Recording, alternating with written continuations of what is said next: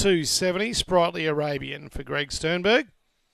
Winner last started Ipswich, called it home there. Let's see if we can go back to back. Green light. No more bets for Tiggerlong Tonkin stud, fifth grade. Blue is the favourite. Sprightly Arabian. Lure. Bang.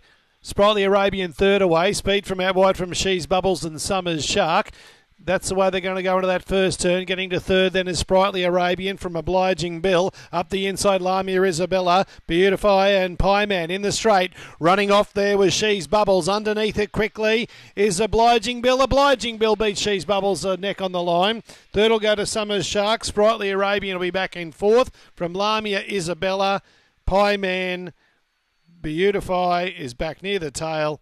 One of the last ones in specified. Six, seven, eight numbers. Six, seven, eight. Four will be fourth.